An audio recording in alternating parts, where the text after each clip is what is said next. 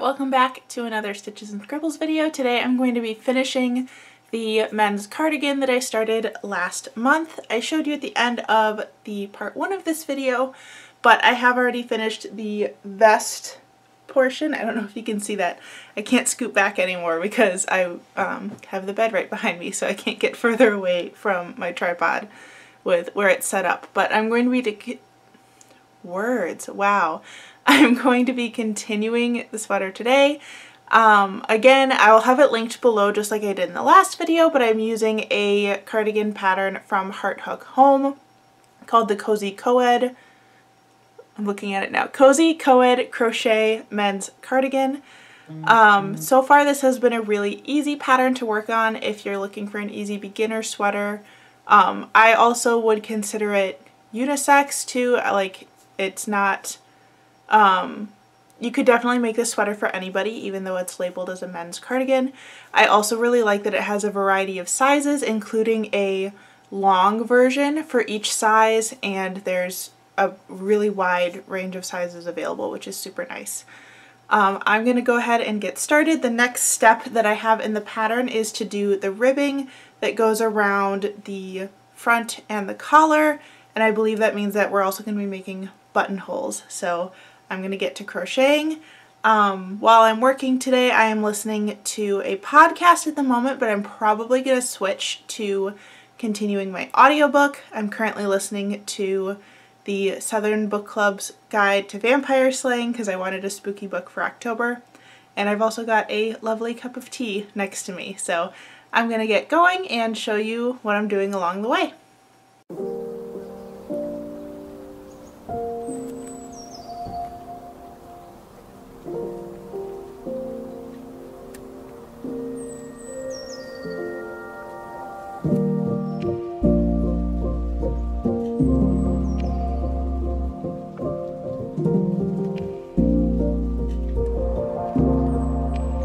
Morning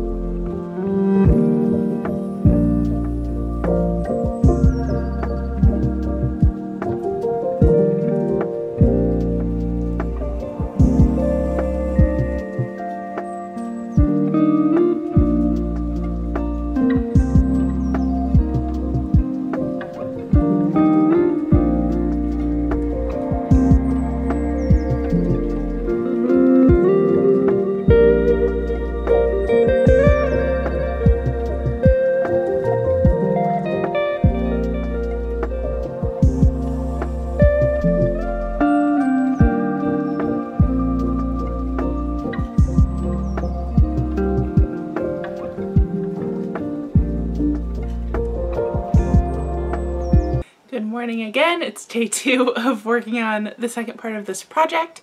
I didn't get as much done yesterday as I hoped. I ha was having one of those weird days and you'll have to let me know if anybody else feels this, but like if it gets too warm overnight and I wake up feeling like sweaty and gross and too hot, it like throws off my entire day, which is what happened yesterday. So the whole day I felt kind of groggy and had a headache and all this stuff so I'm really glad it cooled down overnight last night because today I'm feeling refreshed and ready to work on stuff.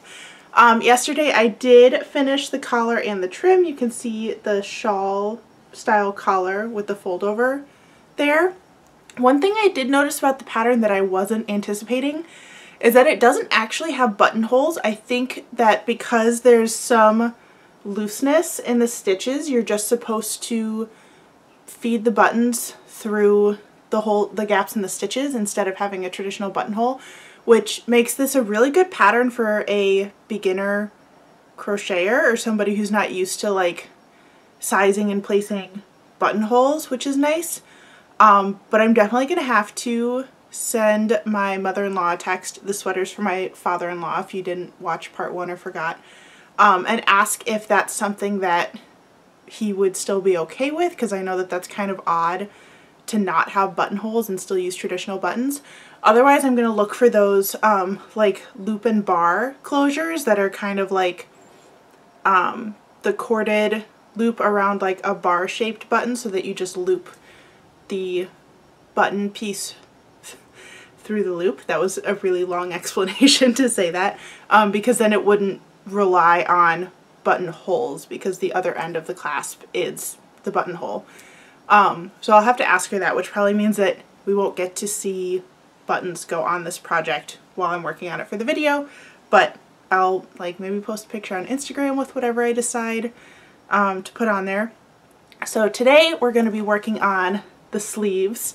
Um, and I think today while I'm working I'm going to continue the spooky movie marathon that I have started this morning. I started rewatching Monster House because they put it on Netflix and I remember watching it when it came out as a kid or not too long after it came out.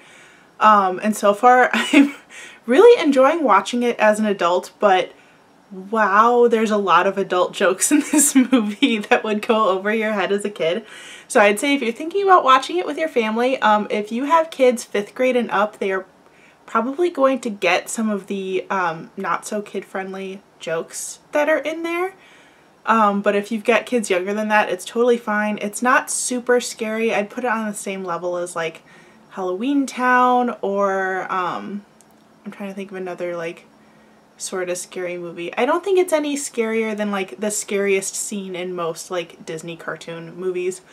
Also, the animation is really old, which I remember it looking really cool when it came out, kind of like Toy Story type animation where now with the progress we've made in the animation field, um, it looks really old and really dated, which for me watching as an adult viewer makes everything like less realistic, but a kid might not notice. But so far it's funny.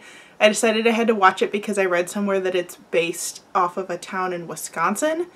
Um, there's no like actual evidence of that in the movie other than just like you can tell it's somewhere where it's like definitely cooler fall weather for Halloween. Um, but I thought that that was fun to watch something that is supposed to take place in Wisconsin because that's where I live now. So I'll probably keep watching it. I've got like 30 minutes left of the movie and I'm thinking after that I might watch Nightbooks, which is a new like family friendly Halloween movie that's on Netflix. So I'm gonna get started on those sleeves and keep going with the spooky movie marathon for today.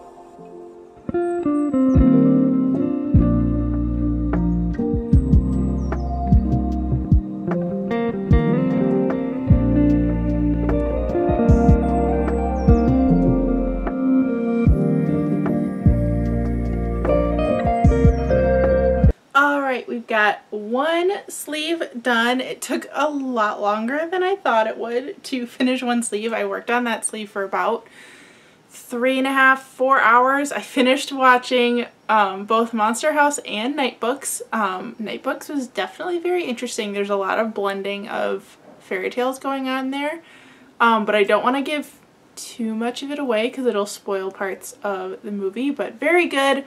I would say if you are watching it with kids, it's definitely scarier than Monster House.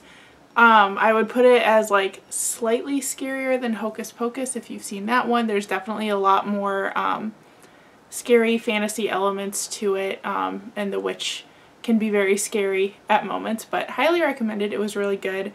Um, probably like a middle school like fifth grade to eighth grade interest level movie but I enjoyed it as an adult as well so that was kind of cool.